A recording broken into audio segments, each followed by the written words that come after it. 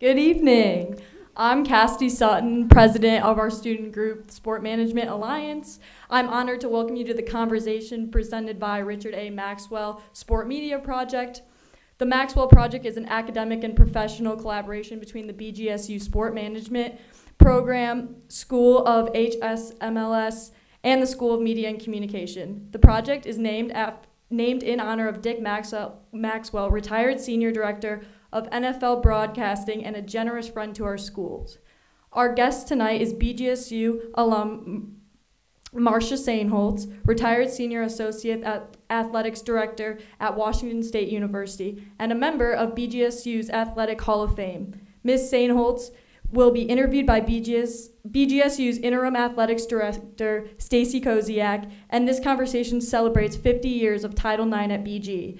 Before we begin, please help us recognize and thank the many people who have supported the Maxwell, Maxwell Project and other special guests in our audience tonight.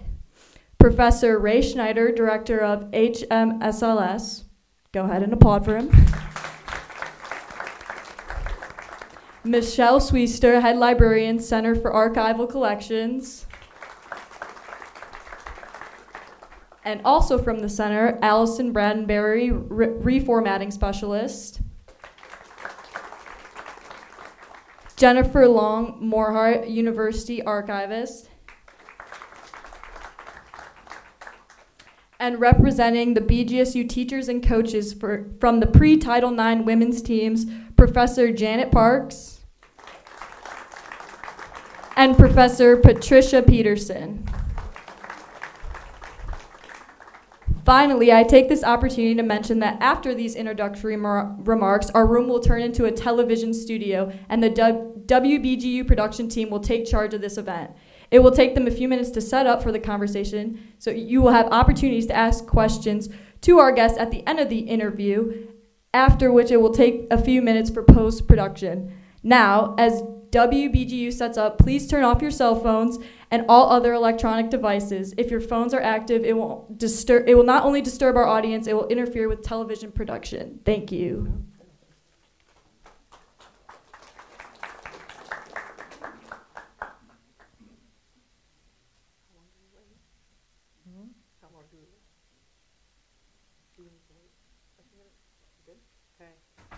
Good evening. This conversation. Uh, I have to say, I am extremely excited about being a part of this conversation. Uh, I myself am a product of sport. Um, I came through uh, college athletics 92 through 96. So, obviously, the perspectives that Marcia and I have are going to be a little bit different. Um, I came through basically on her shoulders. So, the experience that I had was because of the battles that she fought. So, thank you for that. And um, I'm so excited to have this conversation. Well, I'm excited to be here, and those lights are really bright. um, yeah, it's always fun to come back to Bowling Green and reunite with Janet Parks and Pat Peterson and Naomi Lee and uh, Gary and Dan Meyer, you know, who came from Washington State, and we wish Dan was back at Washington State these days. But uh, Janet said, don't take him away. So, not that I would have power to do that, but Dan, you're always welcome at Washington State. So, yeah, it's a pleasure to be here. Um, obviously, I graduated in 1964, only 30, what, 30 years before you? I mean, it seems like yesterday, but it was a century ago.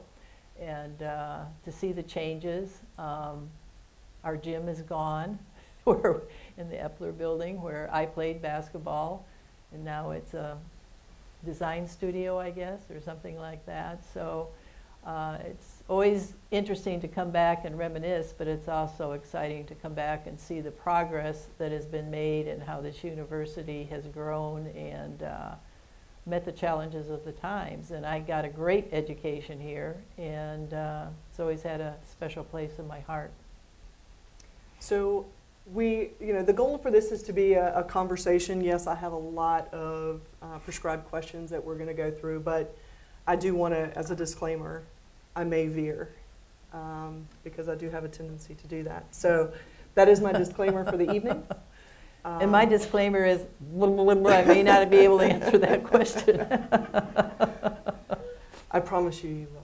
Oh, okay. Okay. Okay. So let's dive right in. Let's let's start at the beginning. Okay. So, can you talk about your early sport experiences? So, what did you play as a kid? What did you do growing up? Um, growing up, I played in the streets with the boys. I was the only girl in the neighborhood. And uh, I've been passionate about sports ever since I can remember, when I was five years old, I guess. And uh, back then, we played baseball in the streets and football in the streets, and there wasn't a hoop in every uh, driveway. And we went to the park and um, you know, played hide and seek and kicked the can and all those kinds of things, but we were always very active. And I collected baseball cards. Uh, I had a huge collection. In fact, I just read a couple weeks ago that Rick, Mickey Mantle's rookie card sold for several million dollars. I think I had that card, and I'm, I'm, I'm being honest here because I was five when I started collecting baseball cards.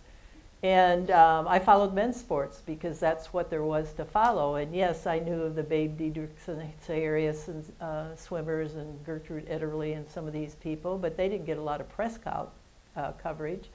Um, I saved my babysitting money and bought Sport magazine, and so I kept up that way. But the coverage was, you know, largely for uh, the men's sports and the men's activities.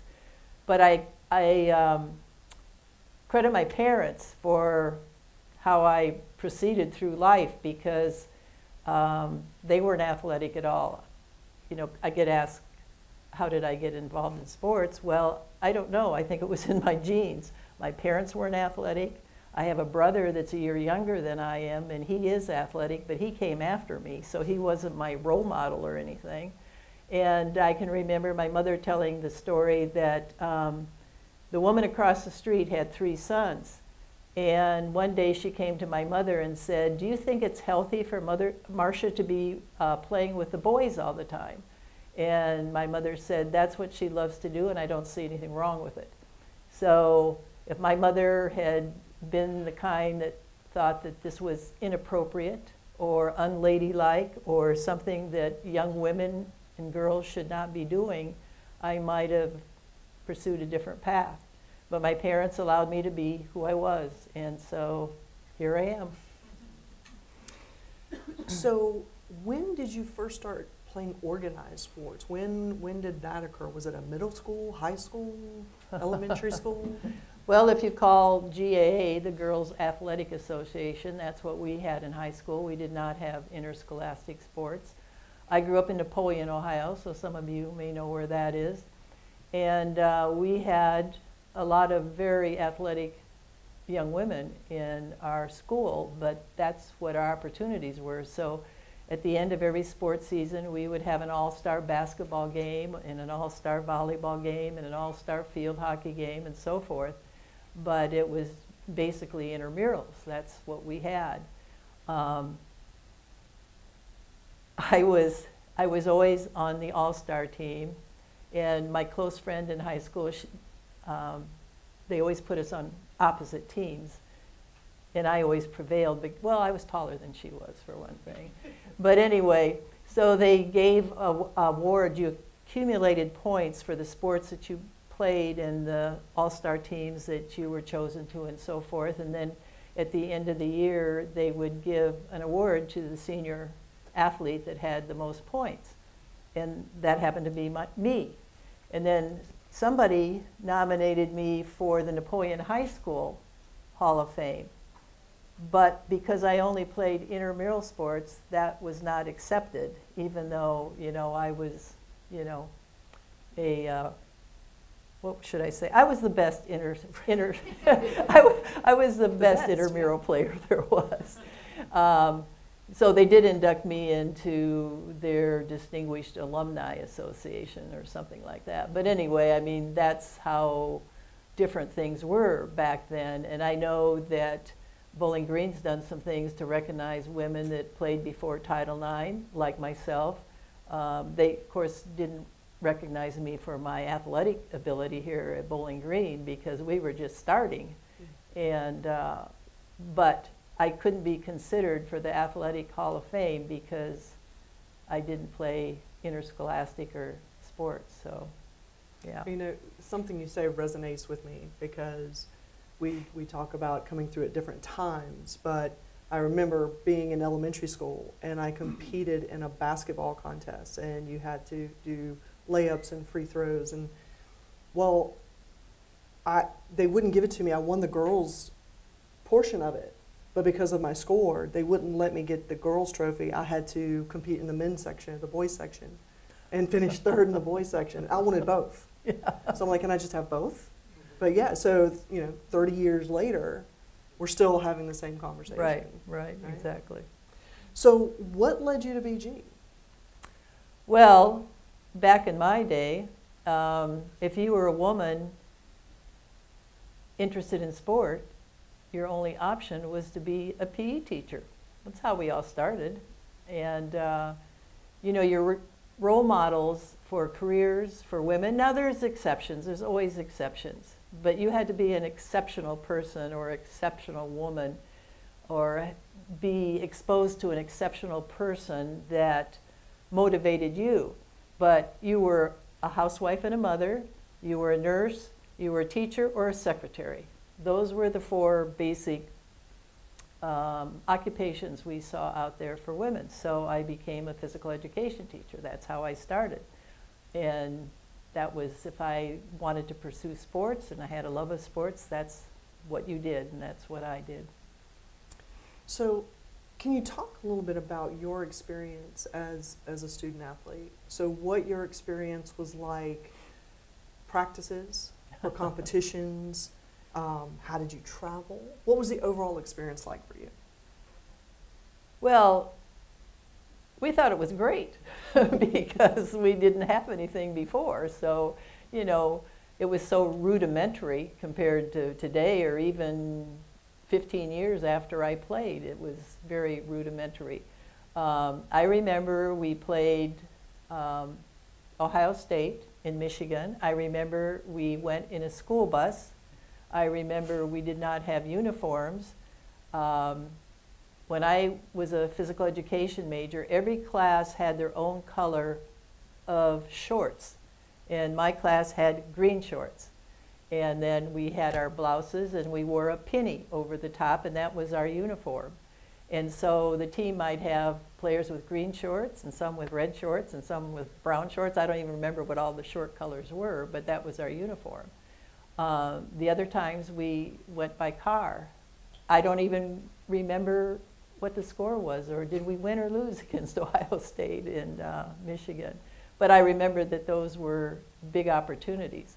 A funny story um, in 1997, when they were celebrating the 25th anniversary of Title IX, and you know, every major anniversary, suddenly the media is interested in women's sports. And so there's a big to do, and then we wait another 10 or 15 or 20 years, and then there's another to do about it. But anyway, uh, so they were celebrating the 25th anniversary of Title IX, and our local media, including the Spokane paper, if any of you know your geography, Pullman is about 25, or 25, it's 75 miles south of Spokane, Washington. Anyway, they wanted to do an article about me and my daughter, who was um, playing basketball at WSU, and she was maybe a junior, sophomore, I can't remember back then. anyway, so they wanted pictures. So I go into my high school yearbook, and there were a couple pictures of the All Star game, basketball and volleyball. One team was always the White Angels, and the other team was always the Blue Devils. And um, then they wanted an action shot. Well, the only action shot we could find was a picture of me playing intramurals, and I was wearing a pencil skirt and a penny um, in my bobby socks.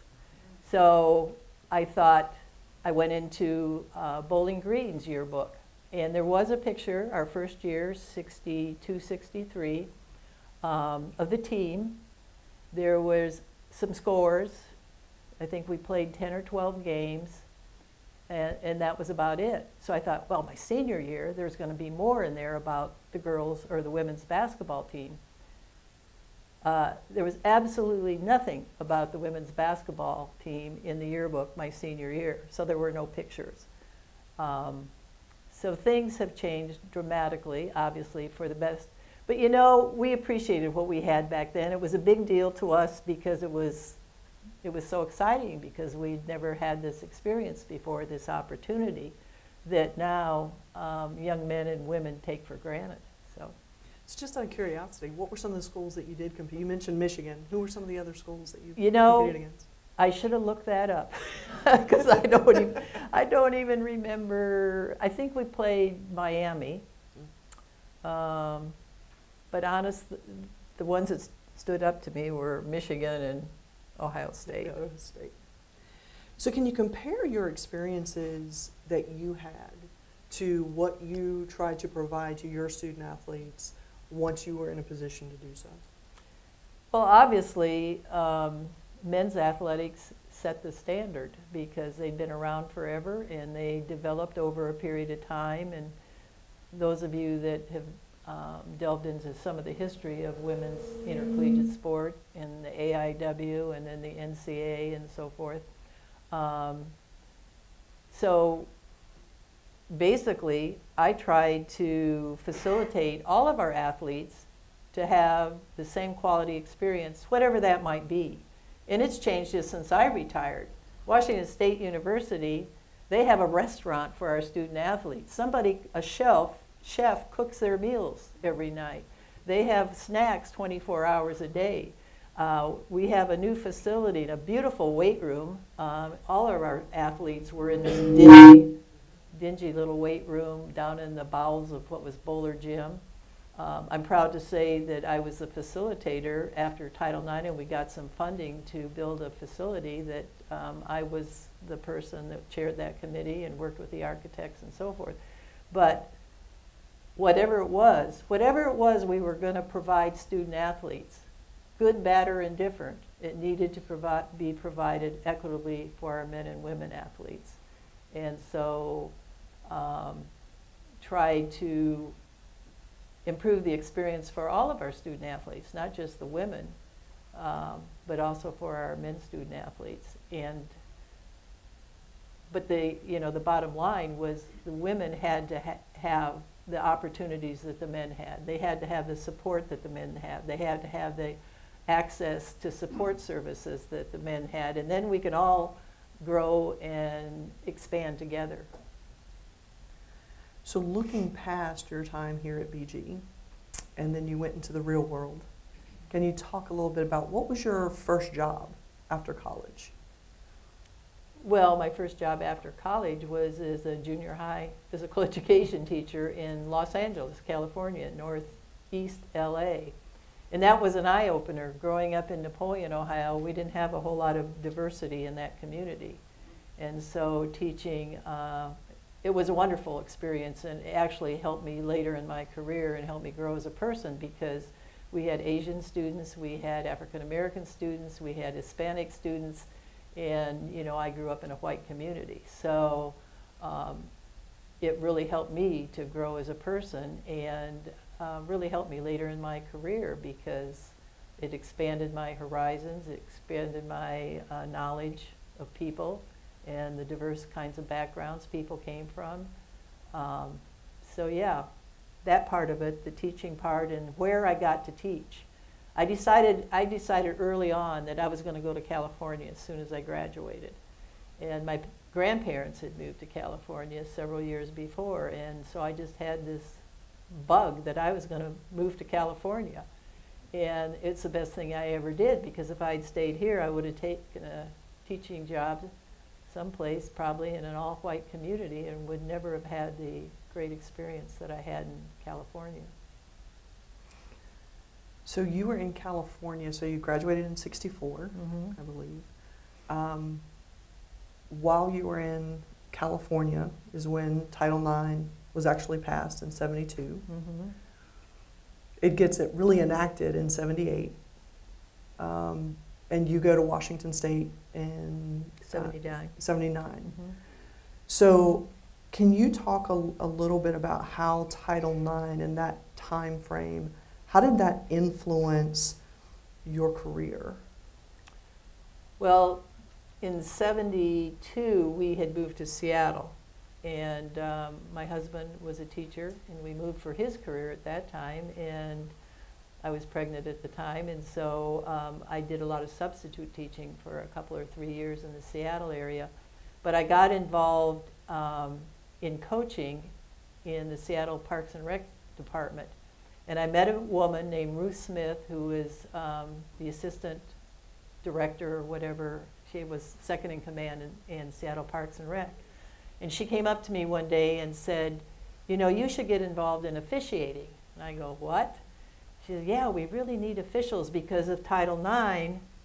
The opportunities were expanding in the high schools for girls' sports. And so I said, okay, I'll give it a try. Well, I ended up being a volleyball official and a basketball official, and I had national ratings at that time under the old NAGWS um, model. And uh, then I became the head of the officiating organization in Seattle, and then in the state, and then I was uh, head of the national rating team uh, nationally after that. So she was the one that really gave me the first opportunity to experience um, the opportunities that Title IX would give women because of the, the boom in high school sports at that time. So then that's when I really figured out that I loved administration. I always thought I'd go back and be a PE teacher. And for some reason, I was never interested in coaching. I don't know why, but I applaud you. um, anyway, so I went back to the University of Washington and got my master's degree in sports administration. And, um, you know, one of the questions I think I read was they were going to ask about my mentors. And honestly, I would say that I really never had a mentor. I never had somebody that I always fell back on to seek advice, but I had people that gave me the opportunity. And Ruth Smith was the person that gave me an opportunity, and then I took that opportunity and ran with it. And in grad school, uh, a person named Kit Green was the women's athletic director, and she gave me an internship. And so I took that opportunity and ran with it. And then uh, through officiating uh, around the state of Washington, the assistant executive director of the High School Association got me involved in doing clinics around the state. And then I was hired at Washington State to be the uh, assistant women's athletic director. At that time, there were two separate departments. I think I only got the job because I was well known in the state through the officiating clinics and so forth. So I had people, women, that gave me opportunities. And then I just kind of, I'm kind of an independent sort, and I just kind of took those opportunities and ran with them wherever they took me. And that was, that's a great lead into my next question, which was once you got into administration, how did you progressively take on additional responsibilities um, and get that experience, especially being a woman in a very male dominated profession? How were you able to take on those responsibilities and get the opportunity to show that you could do that? Well, when I was in women's athletics, we were um, a separate department for three years, and then we uh, merged into men's athletics. And of course, when I was in women's athletics, there were just two administrators, the AD and me.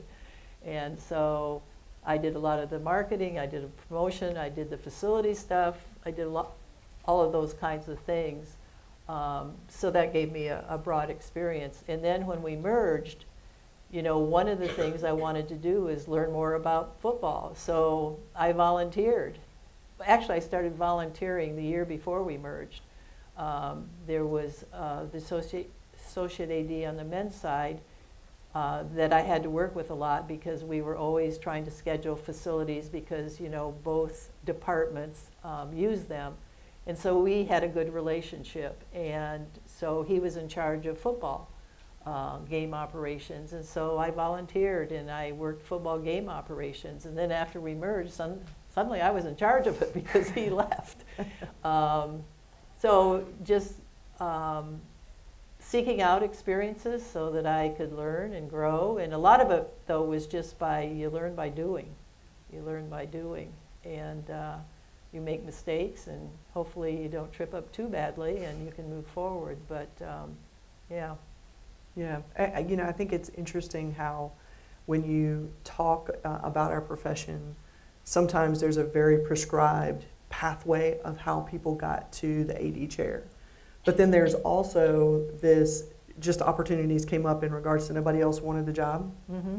So nobody wanted to take on HR, nobody wanted to take on sports med, and you take those things on, and then you that's your progression. And that's Right. why I always tell people, if something comes open and the department needs help, dive in because otherwise you may not get that experience to do Yeah. that.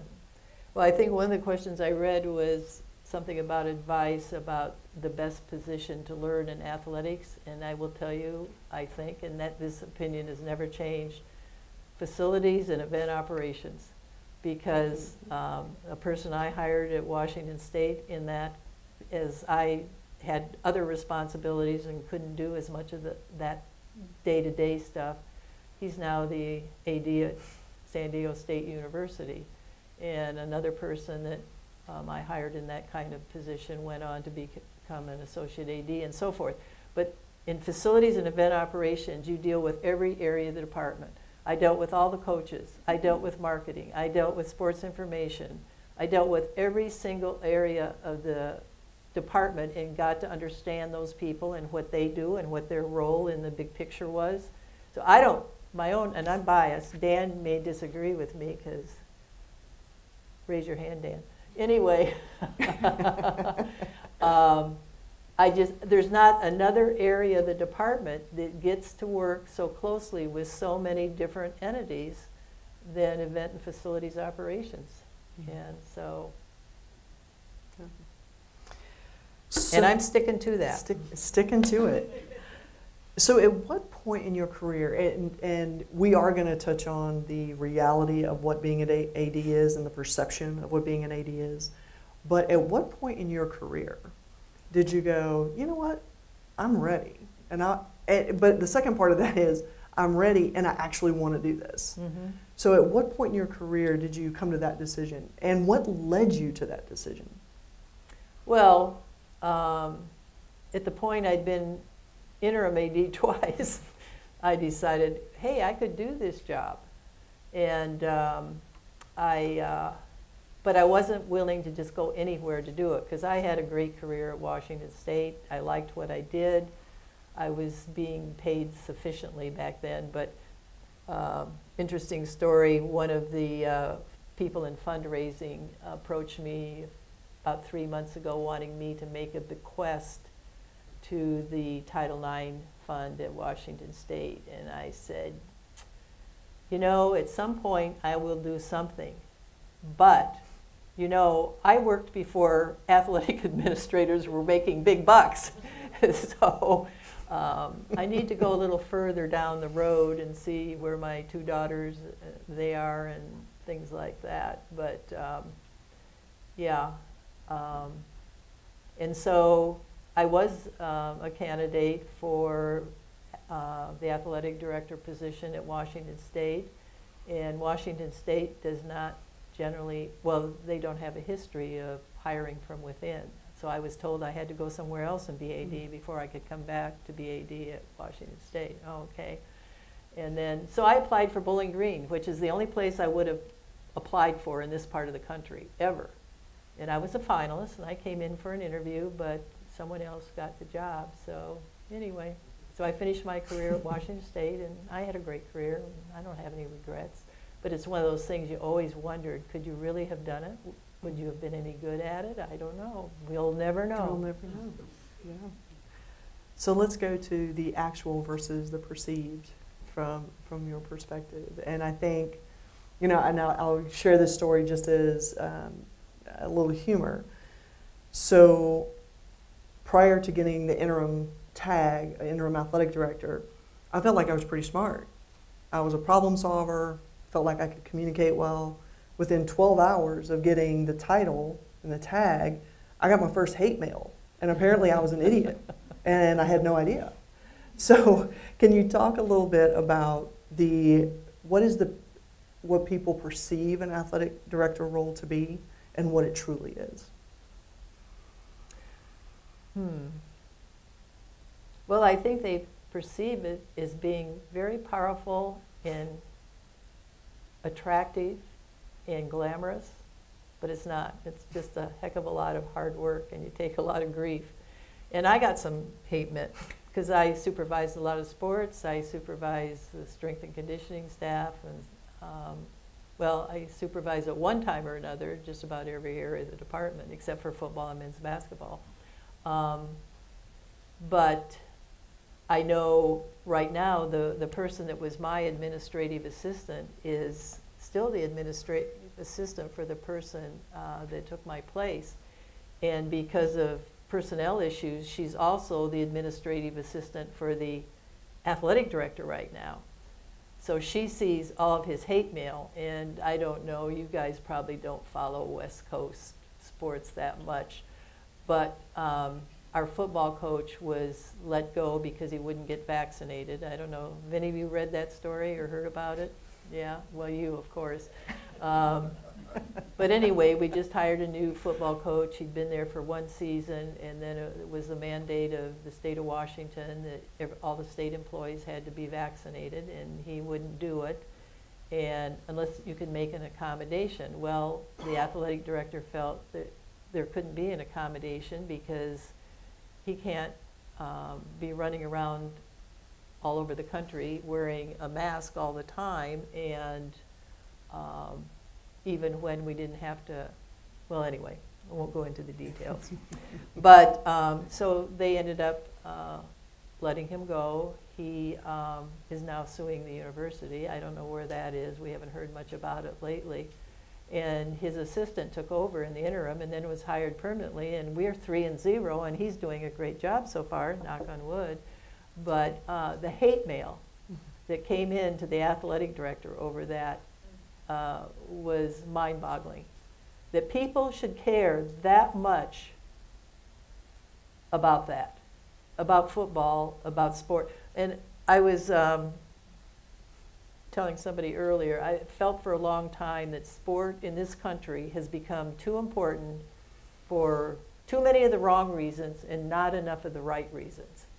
And whether it's kids' sports or how you know, people give you a nickel and they think they should have um, a lot of say in the decision making of your department and how you carry out your business.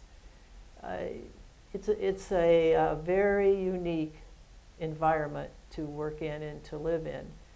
And um, somewhere, I mean, it's great that our fans are passionate. That's great.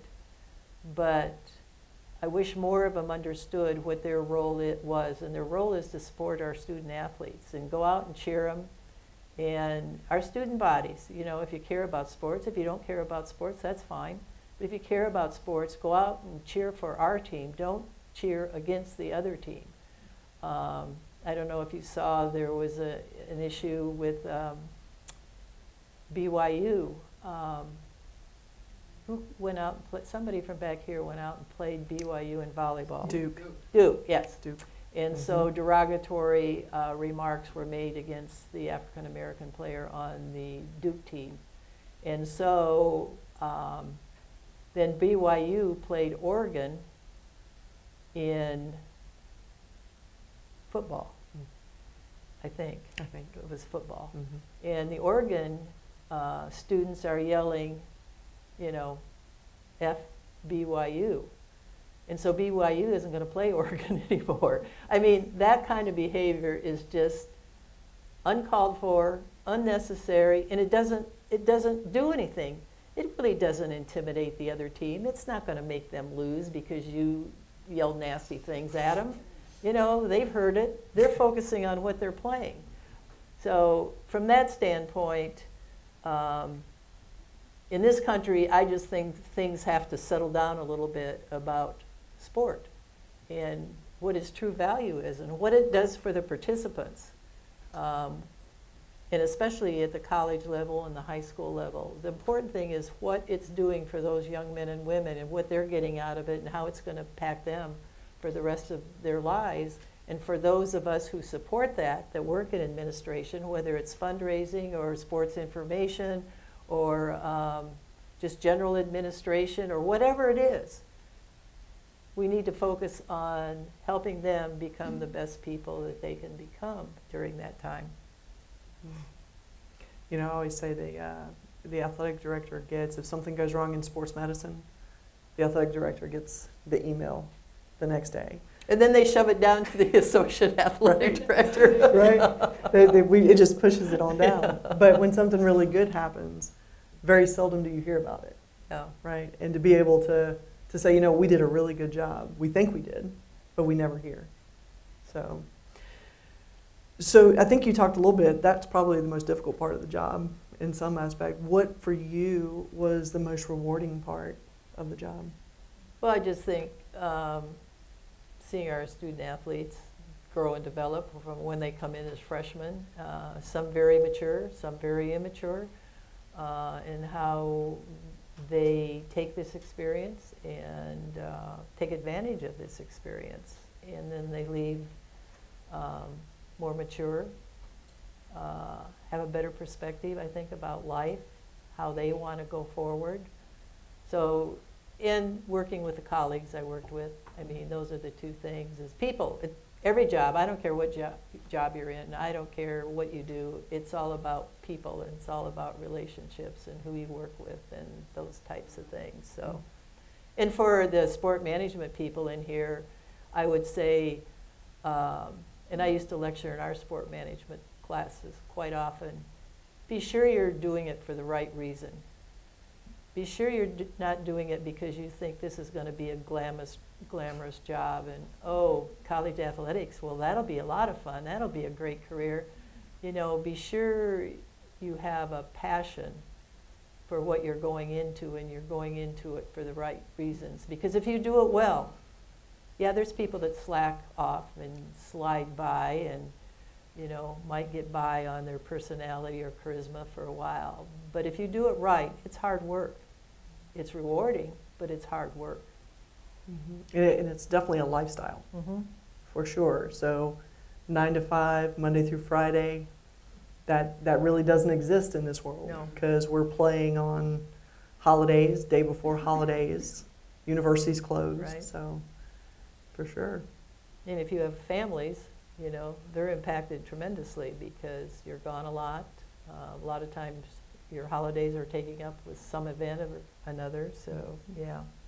So do you think your experiences were good, were better, worse, or just different by being a woman in this profession? Well, they were different.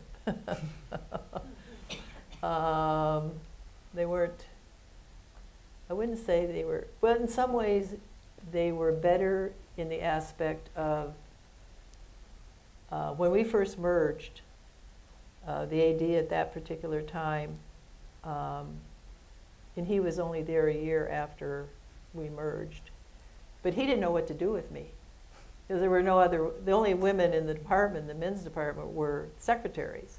So I'm sitting in, this, uh, we had our weekly staff meetings, and there's me and 17 guys. And this particular AD was really kind of hard on his staff. So he was one of the, every AD I worked for, they had their strengths and their weaknesses, as we all do.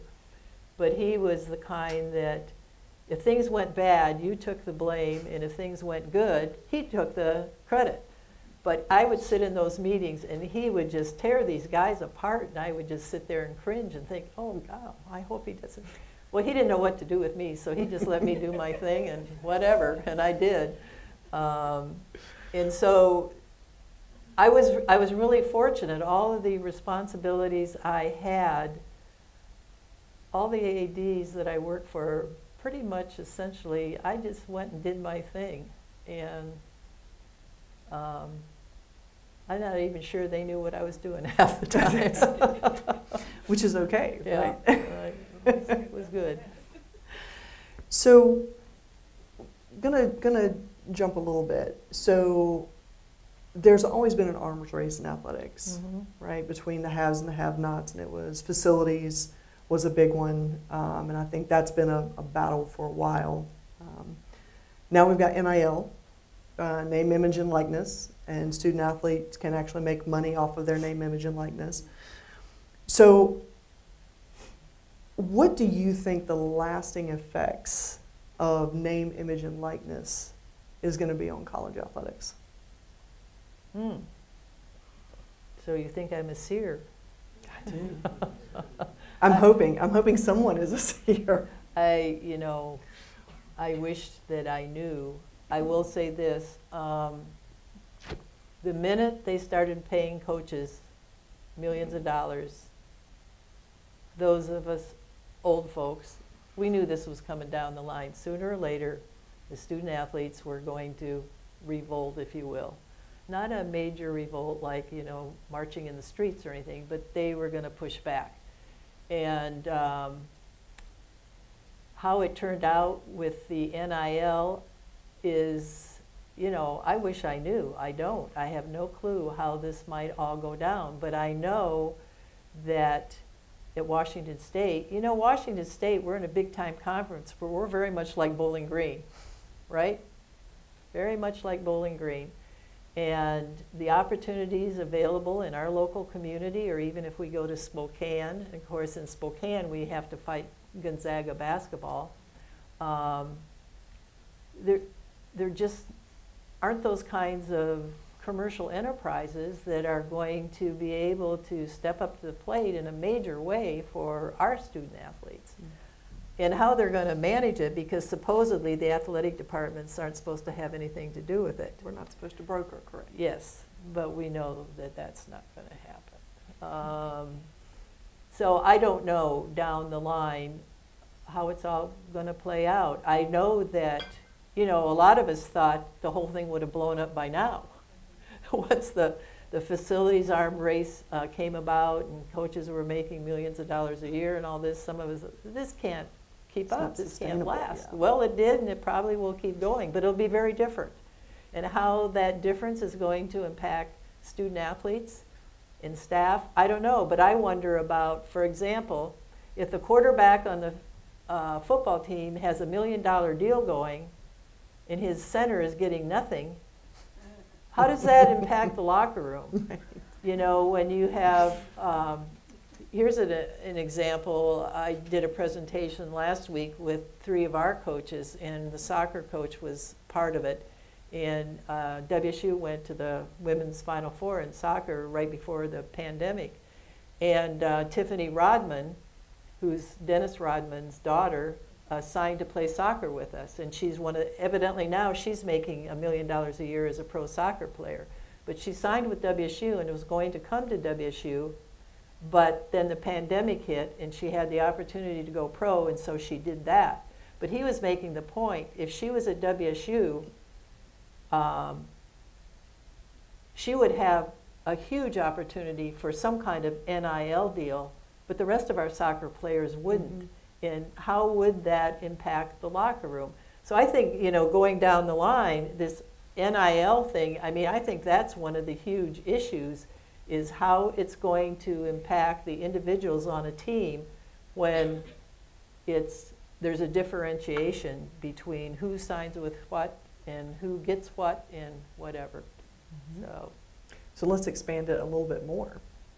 And going down the NIL track, though, and its impact on gender equity. Because again, we're not supposed to be Right. brokering, we're not involved in those deals, but yet and still, we're going to be held responsible mhm, what the differential is. right. But we're not supposed to be involved with it. So can, can you share a little bit about the impact on Title IX? Well, obviously there's going to be an impact. Maybe OCR is going to have to come up with some new rules. I don't know. But uh, yeah, it's a sticky wicket. Uh, where's the lacrosse people? um, to say the least. And uh, that's a huge concern is how it's going to impact um, gender equity. And, uh, you know, I wish I could say or Yeah. have a definitive idea or uh, could see into the future, but I don't know. I just think it's going to be a mess, is what I think. and so uh, my colleagues and I are happy to be retired at this point in time. Well, let's stay on the messy topics. Uh, let's get those out of the way.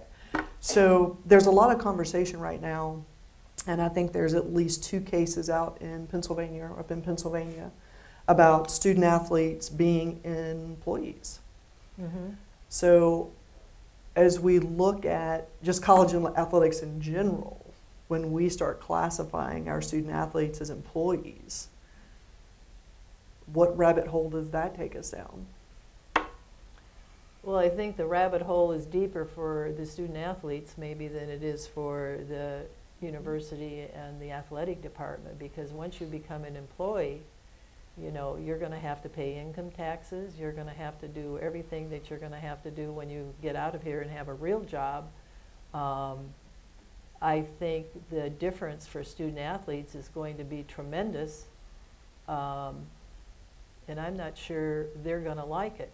And also, when you become an employee, were you going to have uh, the support services that are supplied? Are you going to have a uh, eating plan? Are you going to have access to the training facilities and all of these things that you have total access to now? Because that's a total different relationship between being a student athlete and a scholarship student athlete or even a walk-on student athlete and being an employee of the university. Total different deal. And I think in the long run, especially given um, how universities have increased their support for student athletes, whether it's in nutrition, whether it's in strength and conditioning, whether it's mental health or whatever it is, um, it, it's going to be a different world, and I'm not sure it's going to be a better world for our student athletes. Yeah. So the tough question being, um, and, and you and I talked a little bit about the transformational committee, and, Mhm. and the, the NCAA is now going through uh, a transformational state where they're making decisions on what college athletics is going to look like. Um, as early as January of 2023, I think they'll be making some recommendations, and athletics is going to look very different, I think. So, based on some of the things we've talked about, whether it's the, the arms race, whether it's NIL, whether it's student athletes as employees, The portal. the portal, the, tra- the, the transfer portal, do you feel like that the NCAA amateur model can thrive, or I would even say survive, everything that we're dealing with now? Uh, no, I don't. Um, I think it'll uh, survive and thrive at Division Two and Division Three, but I think it'll be very, very difficult at our level because I think the um, the division between the haves, if you will, and the have-nots is going to increase. It's not going to decrease. It's going to get larger and bigger, and um, you know, our situations are a little different because in the MAC, the schools are all fairly similar, I would assume. But in the Pac-12, you know, there's Washington State and Oregon State, and then there's the other schools. And so whatever happens down the line with, uh, you know, the poaching of the Southeast Conference or the Big Ten, I mean, schools like Washington State are um, in jeopardy, I guess I would say. And right now, the 10 schools that will be left in two years after uh, USC and UCLA leave to join the Big Ten, um, according to the athletic director, and I just was talking to him this weekend, they're sticking strong. They're going to stick together and they're going to whatever. Um, and a lot of it's going to depend on what kind of a television deal that they can strike. Um, the good thing is the ESPN is not involved in the Big Ten or the Southeast Conference, so that it's going to be up to the commissioner and the ADs and the uh, Pac-12 to uh, sell it, that it's going to be lucrative for ESPN to spend big bucks on the Big 12 or Pac-12. Um, in the meantime, there's these rumors out there from the Big 12 that they'd like some of our schools. So, you know, Washington State is in a difficult position, potentially, down the road. Um, But uh, the whole landscape is going to change, and I know even the, the people in the business, um, in the Pac-12, how's this going to impact men's baseball and men's wrestling and women's gymnastics and women's volleyball? And we're going to be they're going to be flying teams from California to Ohio on a regular basis? And how does that impact the student athlete experience? Now i have to say i get a kick out of every time big time athletics makes one of these changes it's always couched with this is in the good of the student athlete experience well how you can't tell me that flying teams from one coast to the other is a good experience for student athletes. What happens with their academics? How many Mm. more classes are they going to miss than they're already missing? Are they really going to charter the volleyball team um, every other week to fly to Ohio? Uh, I mean, there's just so many unknowns out there, and I just can't think that there's any real benefit for student athletes.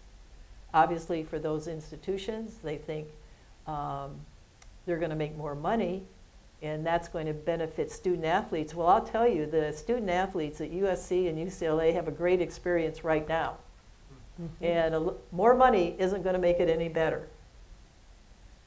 It may make their coaches be paid more money. Uh, maybe they'll be able to remodel uh, the Rose Bowl Stadium or something like that, but it's not going to make the student athlete experience any better. So you touched on kind of those super conferences that are that are coming about, whether Southeastern Conference, Big Ten. Can how do you think schools in the group of five or even FCS at the Division One level, how do you we remain relevant and how do we even compete? And on top of that, from a from a gender equity standpoint, because schools that are already on the cusp trying to play with the big boys and don't have the resources to do that, the resources are coming from somewhere, right? It's impacting another experience.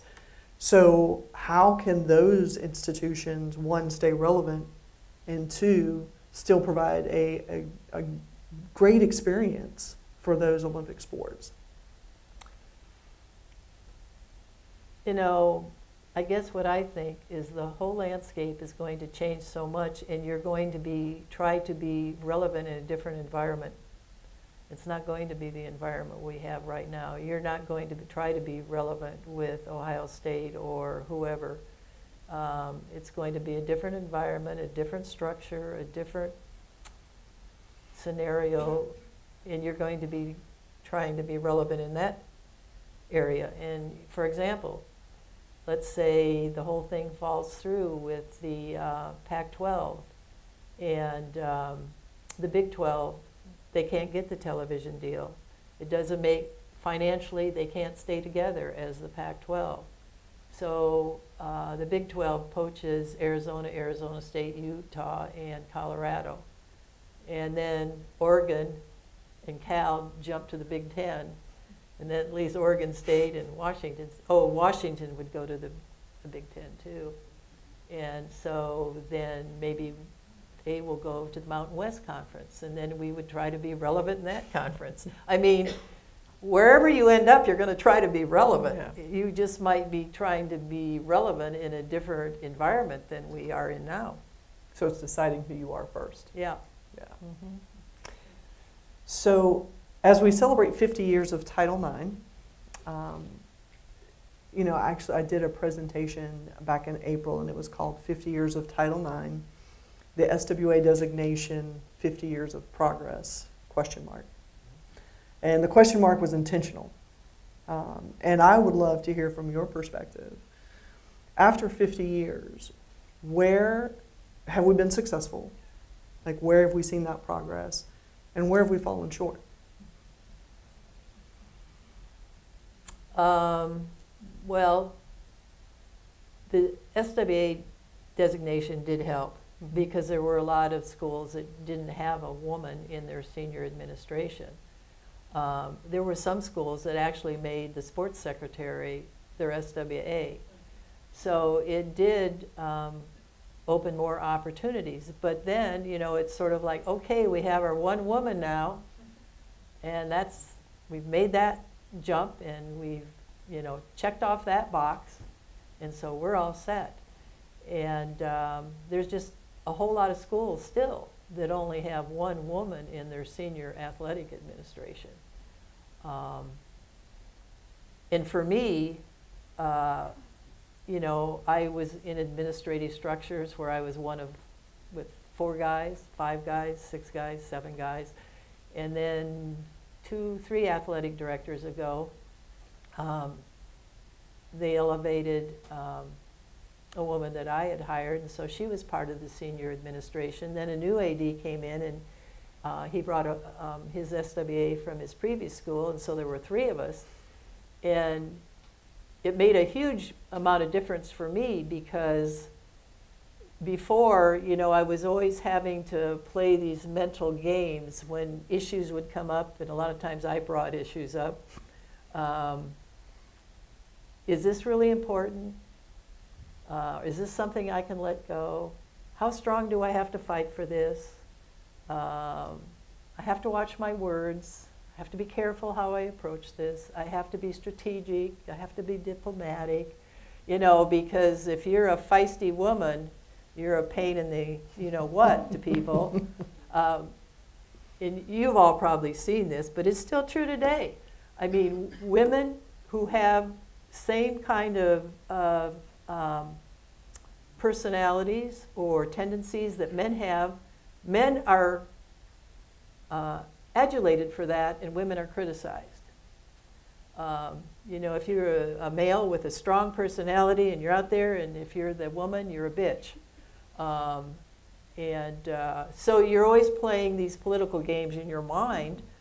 But then when another woman and then another woman came into the senior structure, it's not that we all agreed on everything, because we didn't. We're all very different personalities. But it was more likely that if I didn't say it, one of them would. And so I didn't always have to be the thorn in everybody's side. It's basically what it amounted to. But um, it's really important that we have, well, more women in our fundraising. This is one of the things that uh, always kind of thorn in my side at WSU. They never had any women in the fundraising area out really soliciting people, soliciting people to give to WSU. We just had uh, introduction uh, to our Hall of Fame of our 1991 women's basketball team, which was the first women's basketball team that went to the NCAA tournament, and we didn't get back for another 30 years. We just got back two years ago. And so there's a couple lawyers, there's a couple doctors, there's people in high powered positions, and not one of them has ever been asked for a penny from the athletic department. Uh, and we have a whole slew of former women athletes like that. Um, so there's a lot of areas in the athletic department that need strong women in various aspects of, uh, of administration, whether it's development or whether it's general administration or whether it's sports information or whatever the case may be. And um, we just need more of them. Agreed. So, on our career journeys, Mm-hmm. and you touched on a few in your career uh, of individuals, and, and not so much mentors, but individuals who impacted your career or molded you into the administrator that you are. And I would even say sometimes those are positive influences, Mm-hmm. and sometimes they're negative influences, right? You see people and you're like, I am never going to be that administrator, right? You don't have to call those people out, but but who were some people along the way for you that helped truly mold you into the administrator that you became? Well, there were colleagues um, in the conference that I really admired that had a lot more experience than I did. Judy Holland was one. Uh, if you look at the history of uh, women's athletics in um, the Pac 10 at the time, she was at UCLA. Barbara Hedges was at USC. Uh, Mary Roby was at Arizona. Um, and so when women's athletics went into the Pac 10, um, before we, there was a southern, the southern schools were in a conference and the northern schools were in a conference, and we were in a conference with uh, San Jose State and uh, UOP and schools like that in the north. And then the women went into the Pac 10. And so those were legends in women's athletics um, that I really admired and looked up to. And um, I think I learned a lot from them and being in meetings with them and uh, seeing their style. I'll never forget Judy. Well, Judy Holland and Barbara Hedges, Janet probably doesn't like them because they were advocates for women going to the NCAA as opposed to staying in the AIAW. Um, but those are old battles many years ago. But you know, they're interesting history if any of you are interested in that. Um, but anyway, there were strong women like that that had been in it for years, had lots of experience, and uh, um, they kind of took me in as one of them, which was gratifying and educational. And it was not like, oh, here's this newbie coming in, and what does she know? Um, they were very open, and yeah, we became close friends. So those were the easy questions. Now we're going to go into the hard hitting questions. Okay. So, as as part of I'm going to call tradition, uh, the first Maxwell conversation devised a series of questions to end the conversation. So we're going to dive into those Oh, those okay. questions. What did you want to be when you were growing up? Well, I guess a PE teacher. I can't remember, you know, thinking about being anything else until I found out that that's what, if you were a woman and inter- a girl interested in sports, that's what you did. So that's what That's I what you- wanted to be. Yeah. I don't remember ever wanting to be anything else. I never wanted to be a fireman or anything like that, or a baseball player. I mean, I would have liked to have been a baseball player, but I got the message back then that girls couldn't play baseball. So whatever. So who inspired you most in your life? Um, I did say my parents, uh, just as I already mentioned, because they allowed me to, to be who I was. What is the most embarrassing moment from your career? You know, I, you know, they gave me these questions ahead of time, and I can't think of a most embarrassing time. I can think of different times when I wish I had uh, made a different decision or acted differently in a relationship with a colleague. Um, but I really honestly don't remember. I'm sure there is one. I'm sure there's a most embarrassing situation out there that somebody remembers that I did, but um, I, I don't remember a most embarrassing situation. What's your proudest moment? Oh, actually, I could, here, here's, here's a, an embarrassing situation. I'm not sure it's the most, but just happened at the Hall of Fame thing at WSU this past weekend. So they honored five of us as Title IX pioneers, and we went up on the stage and they lowered this banner and people took pictures, and my pant leg was up to like this. so one, one pant leg was up and one pant leg was down. And I don't know how that pant leg got up, and I don't know how it fell back down because I didn't even know it was up at one time. And then all the pictures, here I am with one pant leg up and one pant. So that was embarrassing. And no one told you. Nobody told me until afterwards. Nobody, you know, I had friends out there that if they had yelled out, Marcia, pull your pant leg down, I would have, oh, okay, yeah. But no, nobody told me. No one told you. So what's your proudest moment from your career? Um,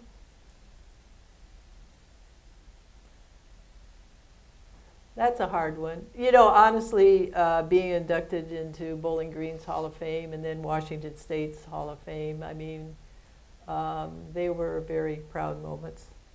Yeah. Yeah. What's your favorite food? now that's a hard one. That is a hard one. Actually, I'd have to say fruit. I love fruit, any kind of fruit. So yeah, I would have to say fruit. But if I had to pick something that was more on the meaty side, I would say scallops are my favorite. But Okay. yeah, Okay. Yeah. Still healthy. yeah, Okay. yeah. So last question. If you could be a bird, what would it be? A cardinal. Yay! I love car- I love birds. I'm kind of a bird watcher person, and I love birds. Fal- oh, I was supposed to say falcon.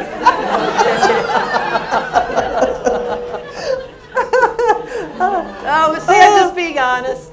That's right. That's Although I like Falcons, I love Cardinals.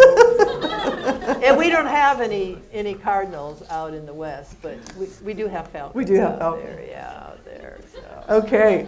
Well, that's all the structured questions that we have. We would love to open it up to the audience uh, for any questions that, that you may have for Marcia. If you do have a question, there's a um, handheld mic here. Just uh, let them know. Did they come to you or do you go to them?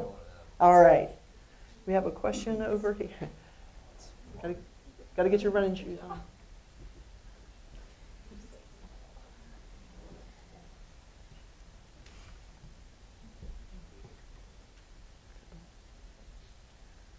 Do you think there's like any other benefits other than payout that like small division programs get by playing bigger schools? Um, you know, I'm probably not the best person to ask about that because I think the uh, answer is in how do student athletes feel about that. Um, I, if the athletes feel that there's a benefit for Bowling Green to play Ohio State, then yeah. But if they just go in there and get beat up and injured, then no.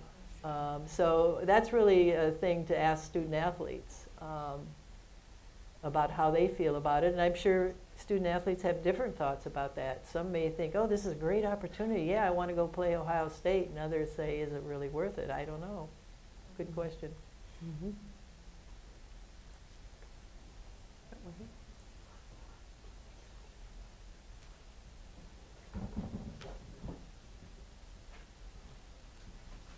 Um, did you get calls from parents when you were an AD? And if so, were there problems or concerns different from men and women? Um, I would say the parents of women athletes were more concerned about the treatment of their coaches towards the women student athletes. Not that it was uh, necessarily bad or horrible or anything, but more concerned about that than the parents of male student athletes. You know, I've seen all of our coaches coach, and uh, some of the coaches of our male student athletes, they were very tough, they were harsh, they were this and that. Didn't really get a lot of call from parents about that. But if a woman um, might be really um, vocal, um, harsh, had a harsh um, demeanor. Yeah, parents are very protective about their women student athletes more than they are about the men. I think on the men's side, it's sort of like, you know, they expect it, and that's how men are raised is to be tough. Men need to be raised to be more compassionate and empathetic, really. Um, but our women learn to be tough. There's no doubt about that. But yeah, there were, although I had a um, father of a baseball player come in one time, and uh, we had just changed coaches, and you know he uh, probably wasn't the best coaching choice. Great person, great person, but probably not the best coaching choice.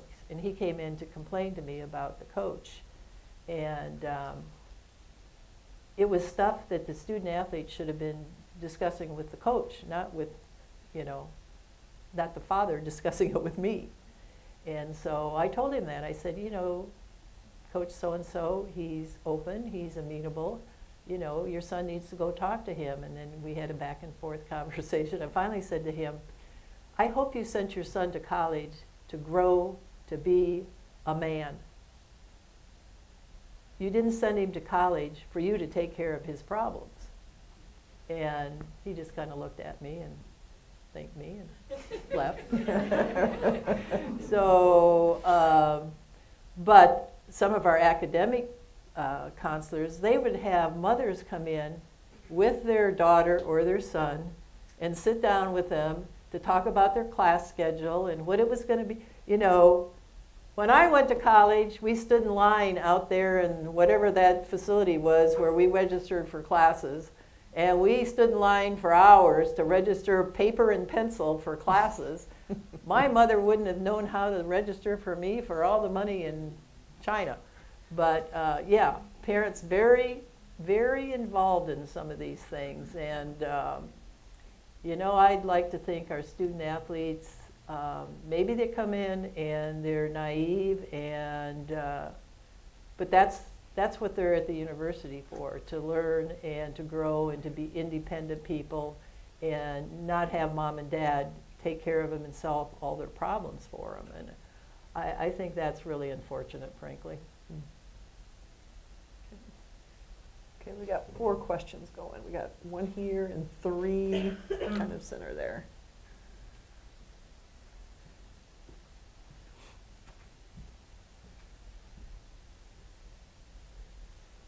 What do you think is the biggest similarity between Washington State and BG?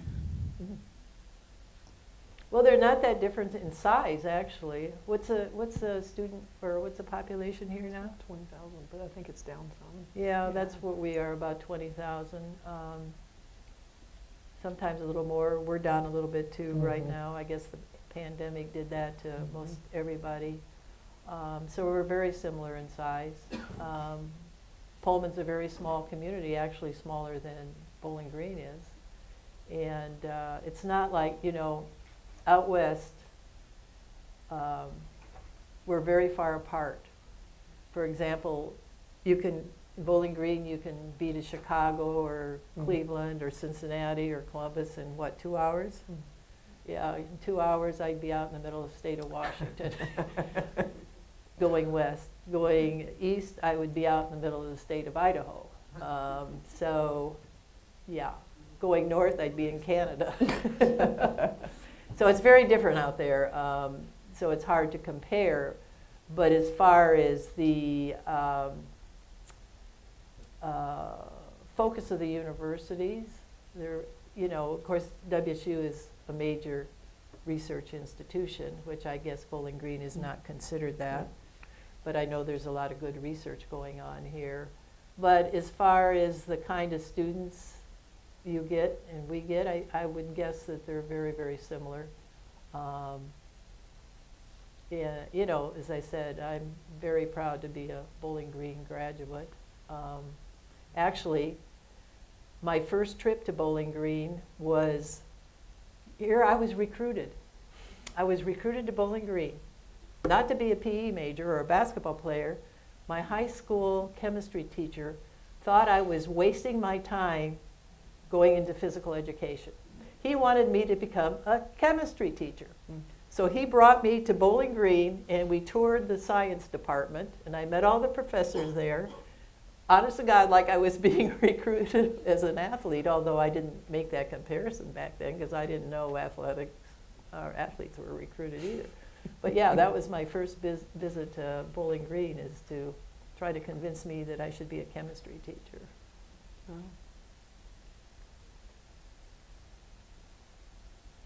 I will tell you a funny story, though. It's, it's not about embarrassment, or it's not even about athletics. And this just happened two weeks ago. I was driving to Idaho. I was in the middle of a project because I volunteer for a nonprofit. I was volunteering, and I had this important thing that I needed to do, and I was needed to print it up, and my computer ran, uh, or my printer ran out of ink. So I had to drive to Moscow, Idaho, which is eight miles away, and the University of Idaho is over there. My husband graduated from the University of Idaho. So we have two major institutions, eight miles apart. And uh, I just had almost to the border of Idaho. My car always says, Welcome to Idaho. And I see these flashing lights in the back. So I pull over, and this young police officer comes over, and my wedding there, and he roll it down, and he says, "Do you know how fast you were going?" Or no, do you know what the speed limit is here? And I said, "Yeah, it's 55." Do you know how fast you were going? Well, I was probably going 60 because that's what I usually go on this road. Well, I clocked you at 65 or 66. I go, "Oh, well, you know, usually I set my cruise control in this road for that very reason, but I didn't do that today." So I give him all my stuff, my driver's license, my shirts, and he goes back to his SUV and he's there for a while. And then he comes back and gives me my stuff and he says, Well, I'm not going to tell you what to do. because you've been driving longer than I've been alive. I go, oh, thanks a lot. He goes, oh, no, I don't mean any disrespect or anything like that. Okay, thank you. I'm just going to give you a warning. All right, great, None thanks. anyway, that's an old age story. That's not a sports story. What would you recommend as the best job to have in college sports? Oh. Well, it depends on what your interests are. You know, a lot of people aspire to be an athletic director, well, especially our, the men. More women are aspiring, but the men all come in and want to be AD. Uh, then some of them get to and probably wish they hadn't aspired to that. Um, I think you really have to assess what, what you what your personality is. Um, the AD job can be the best job in the world if if you know you have the personality and the fortitude and the interpersonal skills and all those kinds of things that go into it. You want to work that hard, but there are a lot of lucrative jobs in all areas of the department. Whether you know you love the media and you love sports information, or you're into the health sciences and you want to be an athletic trainer. I I think it. I don't think there is the best job. I think it. There's the best job for that individual person. And sometimes people don't find, especially when people always want to be the AD. I'm not sure a lot of those people ever find their best job because some of them get it and it wasn't the job they were meant for. And others don't get it and maybe should have had that opportunity. So it's a very individual thing in my mind. Arguably, we've seen a lot more focus on social emotional wellness in college athletics. How do you think that's changing the landscape and relationships within collegiate athletics between coaches, athletes, administrators? Um, we were, you know, starting to see, I mean, so, see some of this when, when I was still working. In fact, Washington State hired the first uh, sports psychologist in the Pac 12.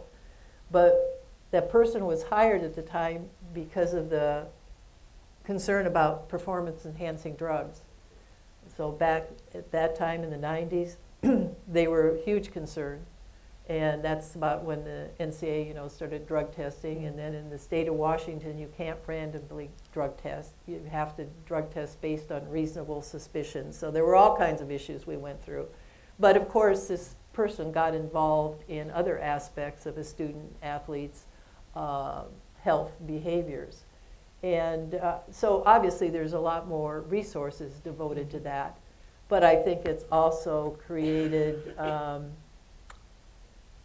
more tension sometimes between, from what I hear, coaches and student athletes. In fact, I was talking to our rowing coach, and she was saying, um, you know, she wasn't she wasn't downplaying the mental health issues and the pressures that student athletes feel, but she felt like some student athletes were using it as an excuse to, you know, she wants them just be tougher.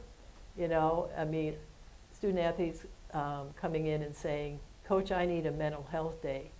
What does that mean exactly? I need a mental health day. Uh, you know, what's going on with you that you feel that you can't come to practice today? So um, I think that's become kind of a sticky wicket um, with coaches and student athletes. And obviously, you want, to, if you're a coach, you're going to err on the side of, yes, this person needs a mental health day. I mean, nobody wants to cross that line. But it's created situations where um, um, trust issues, I guess I would say. Mhm. And if I could expand um, just a little bit on it, I mean, I think there is so it's becoming more prevalent on the national level. So it's in part of the discussions with the transformational committee, and you know, in order to be Division One, do you have to invest at a certain level um, in the care of the student athlete? Um, it's on the conference level. We have that conversation with our our COSA group, and um, the resources that they need. And I think as administrators, it is our job to provide those resources and help put what I call tools in the toolbox, right? It's not our job to fix every problem, it's our job to figure out how we can get you the tools to deal with the problems that come your way. Now, when, when I say that, you know, we have a, a life coach. We have we we've hired a director of student athlete mental health services. We work with a counseling center. We work with the dean of students. Like it is a, it definitely takes a village um, to provide all of those tools. And I think on the coach's side, the hard part is that they are still being held accountable for performance based, right? And there is no clear definition. It's, it, it's not like when you have a physical injury and we're trying to close that gap on the understanding of what mental health is and how do we navigate that. And coaches are not mental health experts. Like I think we forget that, that piece of it. So when student athletes come to them and say, I need a mental health day, where do they pack that? And where do they unpack that? So it, it's definitely a sticky wicket that um, you know, we're having to navigate, and I do feel for our coaches trying to, to navigate that. Mhm. Oh, just one down here.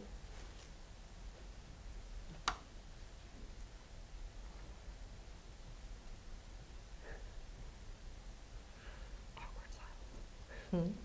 He's gonna get his ten thousand steps in today. That's right. Hello. Um, so my question is not related to sport. Um, I'm a grad student here, second year PhD in leadership policy, and it has more to do with some. Uh, you know, you mentioned. Uh, it seems like you know you had uh, support from your family and parents, and uh, you mentioned something about how you did not have a mentor, but rather you had opportunities and you ran with them. Mhm. Uh, so my question is, if you had the choice now to have a mentor or work with them, would you have? And if so, how do you think that could have helped you, made it better or not? Hmm, Good question. Um, hmm.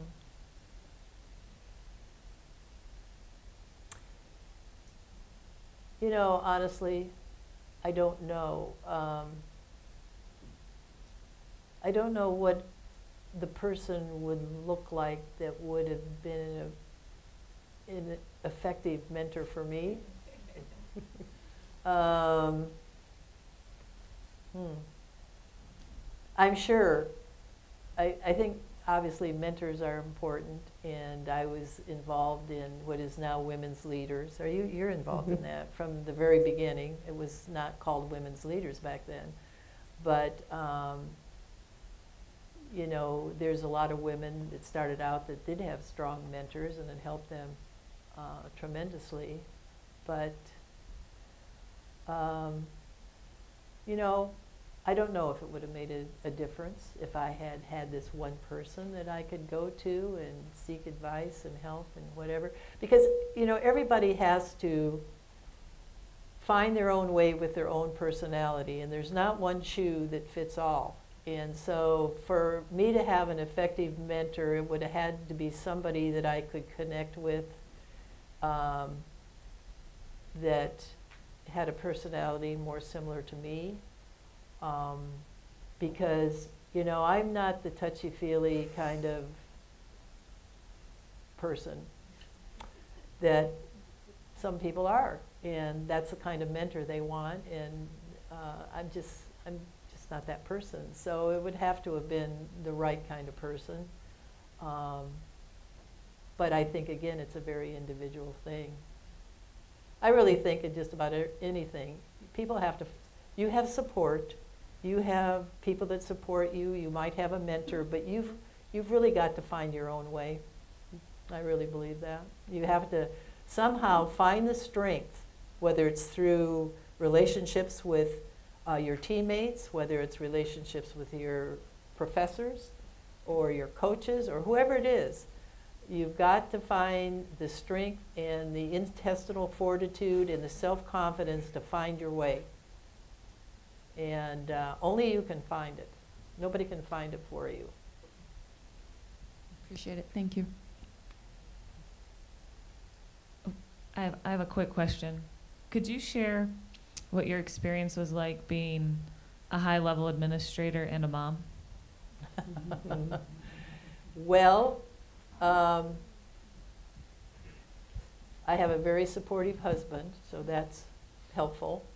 Uh, he did a lot of cooking back in those days. Uh, was very close to our daughters. Um, so yeah.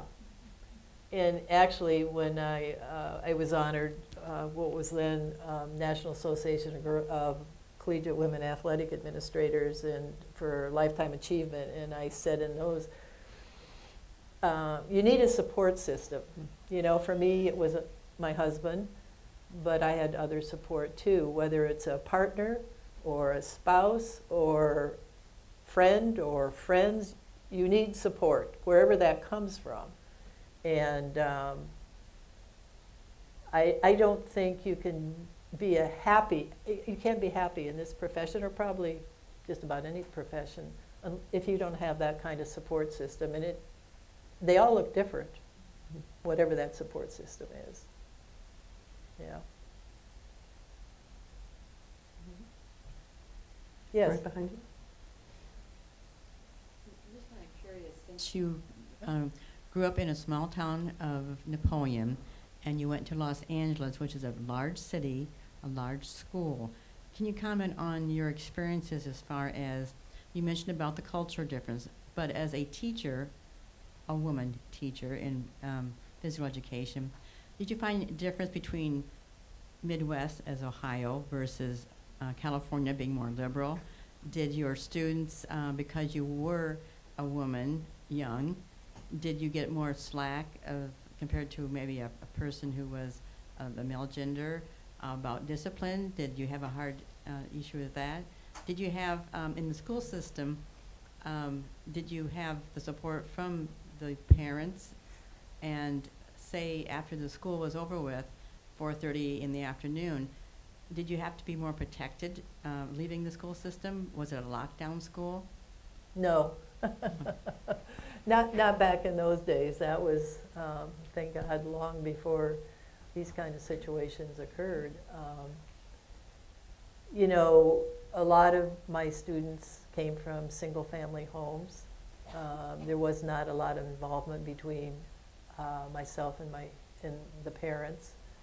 Um, I did take quite a few of my students under my wing. In fact, uh, three of them came up in in the summertime. My husband, uh, we both taught school, and then he worked for the Forest Service up in Idaho, which he had done in college. And three of my students came up and spent a summer with us um, that needed that kind of experience and break.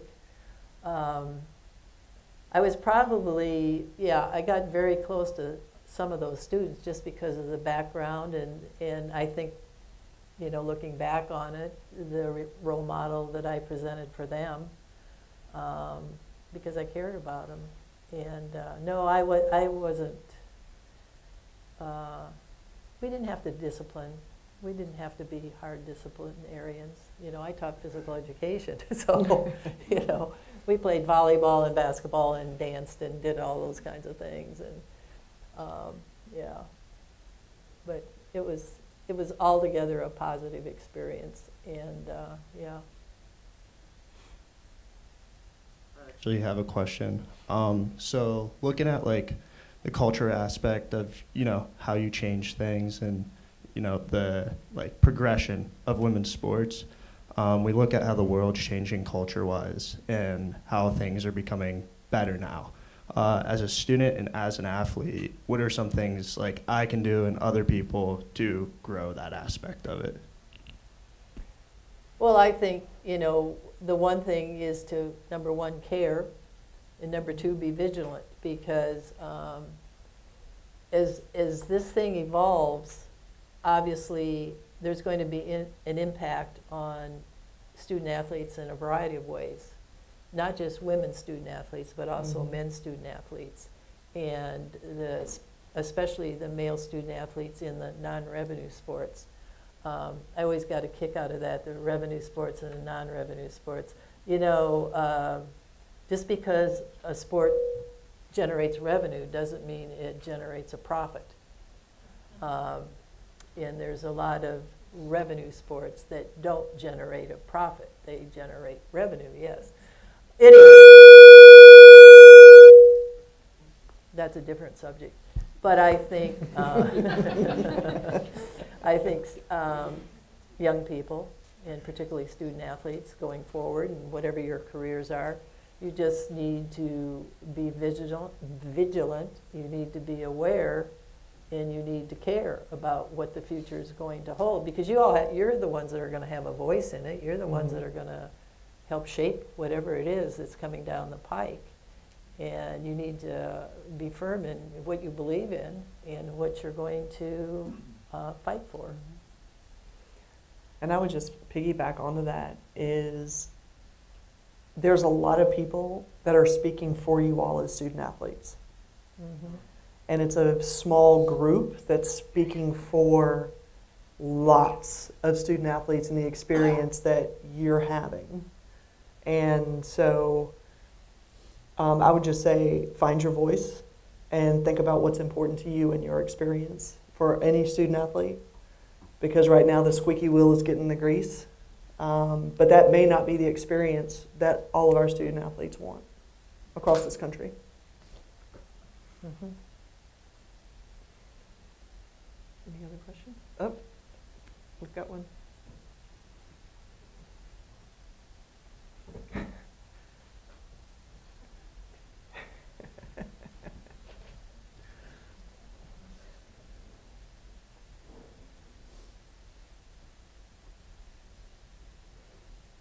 Miss Marcia. My name is Emma. Thank you for sharing your thoughts and your experiences in sport. I've definitely learned a lot, and I'm sure I can speak for a lot of us in the room. So thank you for your time. Your comments about uh, sport in the US has become too important for too many people for the wrong reasons, not the right reasons. That resonates a lot with me. I'm, I'm from Northern Ireland, and so when I came here, I definitely felt that kind of privileging of sport and the value that US citizens put on it, and as well as certain people in sports and certain sports themselves. Um, but then you kind of you flip the script and you were like, well, maybe we're missing what sport does for its participants, um, and that includes you. Um, you know, as a trailblazer in, in for women uh, working in sport. So I'm wondering, what has sport done for or to you, or what are some kind of key takeaways that you have to share with us? Well, as I said before, it's, it was always my passion. I, don't know why. I can't explain that. I can't tell you why. It just was. And so, um, if I had had the kind of experiences student athletes today have, I'm sure I would have a different perspective on it. Um, as far as you know, the teammates and what you go through. I mean, we had a very short basketball season, and uh, we didn't uh, share a weight room. We didn't share, you know, athletic training facilities or any of those kinds of things. So I would hope that our student athletes today are, um, well, in looking at our 1991 basketball team that came back to be honored, they share bonds today, 30 years later, and keep in touch. A large group of them keep in touch with each other. So as far as I'm concerned, um, it gave me an opportunity to have a career in an area that I had a passion for. So it kind of transitioned from being a PE teacher um, to being an athletic administrator, and that was kind of like serendipity, really. It's not like I grew up wanting to be an athletic director or anything like that. Um, so I think the opportunities and the paths that young people choose today, women in sport, um, are very much different. I mean, I've always wondered if I were growing up today, would I have become what I became? And the answer is maybe I would have, but maybe not. Because today, if you're a woman interested in sport, um, you could be in sports media. You could be in athletic development. You can be an athletic trainer. You know, you can be a strength coach, and there still aren't very many women in strength and conditioning. Um, there's an area that we really need more women to become involved in. Um, so there are a lot. Of, why does that happen? Is it you? I'll take accountability. It's me. So anyway, there's a lot of, if you're a woman interested in sport, there's a lot of avenues you can pursue today that really weren't available when I was coming through. So um, I'm not sure that answers your question, but it gave me the opportunity to be involved in a profession that, that I love because I loved working with students. I mean, here's a big difference. Back in the day, all the coaches started out as PE teachers, men and women. The coaches at Washington State University, some of them who are in Hall of Fames themselves, they all started as PE teachers. So we were all trained as educators. We were all educators first. Now, if you look at most coaches, they coach the way they were coached. They got into coaching after their student athlete experience, and their old coach gave them a position as an intern or a graduate assistant or something like that.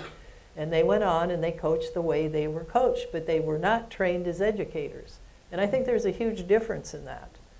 And how it might have played out through the years into what we see now, we can only speculate about, but there's, um, I think that's a difference in when you were trained as an educator and then you became a coach and then maybe an administrator, as opposed to I was an athlete and then I was an intern coach and then I was assistant coach and then I became a head coach. And so, whatever. Anyway.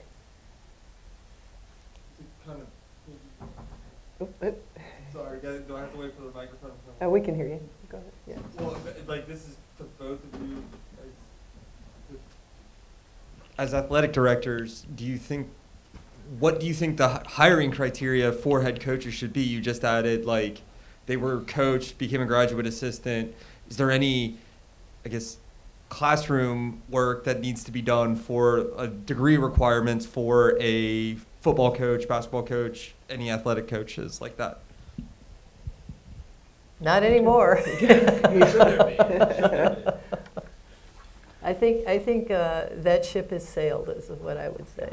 That Yeah. ship has sailed. I think Um, as, yeah, sorry, go ahead. I was going to say, you know, you could go back in time and say, yeah, this, that, or the other thing. And uh, right now, I think an important thing that's happened is there uh, opportunities for coaches of youth sports um, for some standards to be set Mhm. and sort of expectations, and I think that's incredibly important. But at our level, that ship has sailed. But also, I think you see um, some of the most successful coaches that I've worked with, um, they are committed to teaching. They are committed to, you can, they're not going to come in and take over a great team and just be successful that way. They come in and they develop student athletes. And if student athletes come in, when they leave, if they're better than they were when they came in, right? And there's all different ways to get there. I think that's that's kind of the key. There's definitely not a degree, I would say, because I've actually worked with coaches that had a degree in coaching per se. They weren't good coaches. But I think that had to do with more of them as people, right? So a lot of it is character, a lot of it is being able to develop, a lot of it is can they communicate? It's all of those things. Can they show empathy? Can they show compassion? That's where you're seeing a lot of your more successful coaches now. Well, and I think probably BG and Washington State look for the same kinds of people. I've always said um, at Washington State, our coaches have to be better coaches because we're not going to be able to attract tons of blue star, five star athletes. So they have to be better at spotting potential, they have to be better at developing that potential. And if they are, then we're going to be really successful in that sport. We've been successful in quite a all of our sports at one point or another. Mm. Not as consistently, maybe, as Ohio State, but at one time or another. So, yeah. Yeah. Any other questions? No? Okay. Well, one, I want to thank everyone for joining us for this conversation. Um, two, I want to thank Marcia, for being here, and it has been a great honor to have this conversation with you. So if we can give our guests a round of applause. Thank you.